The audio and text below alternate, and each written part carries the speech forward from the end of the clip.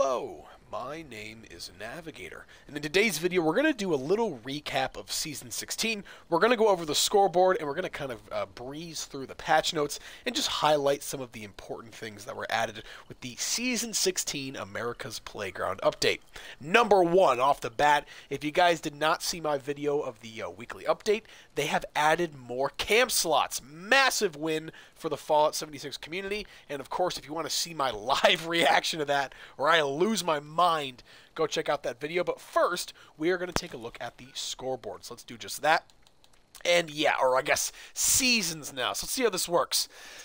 Welcome to Seasons. Rank up, earn tickets, and claim season rewards. Long story short, folks, if you play Fortnite, it's pretty much just the same as that, as opposed to stars. You earn tickets, and then you can kind of choose what you want. Personally, I liked it better where I could just, you know, go through the whole thing and not have to, like, consciously think about what rewards I want. But at the end of the day, I'm pretty sure it's the same amount of effort that you're putting in, and maybe it isn't the worst thing, maybe for someone who isn't going to finish it or who can't always be playing, to play every once in a while and save up for that one item and then get it. That is kind of the redeeming thing of this, I feel like. Once again, those who cannot play all the time, if there is something they want, they can just save up enough currency to buy that one thing. I think that is pretty good. So yeah, Complete challenges to earn score and rank up. Earn tickets every time you rank up. Redeem tickets to claim rewards from the season's menu. All right, so let's see. Uh, I literally, literally, this whole scoreboard is meaningless to me aside from this outfit. I'm sure you guys can understand why. Uh, but yeah, so this is the first page here. Uh, you got. I'm not going to go through everything. You guys can pause it and you know look at it if you want to. Yeah, I'm sure that people have made videos about this. I mean, I made a video going over everything. Uh, but let's see. So yeah, I'm just going to breeze through here. That power armor, yeah, who cares? Some fences though, those are nice. Uh, I love these tiki statues. Cannot wait for that. And this outfit is really cool. It's kind of like the Hawaiian one, but instead it has uh, shorts. It's pretty nice. Uh, of course, the Cremator, a little throwback to the old uh, Fallout 3 and Fallout New Vegas style flamers. Moving on from there, there's a new ally, which is pretty cool. Don't really care about it though. Uh, I you can now become forklift certified in Fallout. That is pretty sweet. What else we got? Eh, I don't really care about none of that. Oh, water boiler. Very good, uh, what do you call it? Item to kind of have outside your camp as a place filler, and also it produces water for you. So there you go. Um, don't care about that stuff. Oh, the autopsy table is really cool. I cannot wait for that. Not sure why they have a Brahmin corpse, though. Interesting. Moving on. Wait, what was that? Mystery. Oh, mystery magazine package. Interesting. Uh, grass roof. That's kind of interesting, actually. If you're trying to make a more like lived in, very apocalyptic home, that grass roof kit is pretty sweet. Moving on from there, oh, I skipped one. Whoa, whoa, whoa. Homemade xylophone. Yeah, that's kind of cool. I wonder if it's like big enough to, uh, you know, like I wonder if it's a decent enough size. Uh, the Cryptid Hunter paint, I really don't care about it. The only thing I care about is that jetpack. That jetpack is sweet. Moving on from there, Pine Barrens. It's literally just a reskin of an old uh, Atomic Shop bundle, so I don't care. And then, yeah, that's pretty much it for me, folks. I really only care about that outfit. Once again, you can pause the video and take a look, or you can go check out some other creators' video going over this stuff. I'm not going to waste my time with it. I've already been over it. So there's that. That's the scoreboard. Let's take a look at this. So current expedition Atlantic City, and then, okay, so Flooded City Center, the human condition, defend from uh, Mother Nature's wrath. Okay, so this is one of the new ones. Flooded City Center, or excuse me, the Human Condition is the name of the expedition. And then uh, what is this? Tax evasion. These are the ones from the last update over here at the Boardwalk. Most sensational game. Okay, so I may, I, is there only one new expedition? I thought there were two. Okay, well, regardless, there is a new expedition, the Human Condition, and it seems like this part of the uh, of uh, how can I say this? Here, let me here. Let me just kind of show it to you guys. We'll go back to the main menu here and I'll show you guys what I'm talking about. In the news area, they added a picture, yeah, right here. If you look behind the power armor guy with the, the Gauss rifle, you can see there that uh, Atlantic City's kind of out in the distance, and you're here in the woods. I believe that this is the Pine Barrens, kind of out here in the woods, and it seems like there's I, don't know if those like floating spore guys were in before or not. I really wasn't in New, uh, New Jersey that much, but there you go. It seems like the new expedition is going to be more oriented towards the outskirts of the city. However, I'm not going to know until I play it uh, tomorrow. I will be playing it tomorrow and figuring all that out. I got a lot going on today, but there you go. So yeah, Finally, here, I'm going to give you guys something, I guess, interesting to look at. We are going to go over the patch notes really fast and just kind of see what changes they've added. So let's see. Uh, new quest line. Unravel a deadly plot hiding in the closet of the glamorous Russo family in the new multi-mission quest line. So it seems that there are some new quests as well.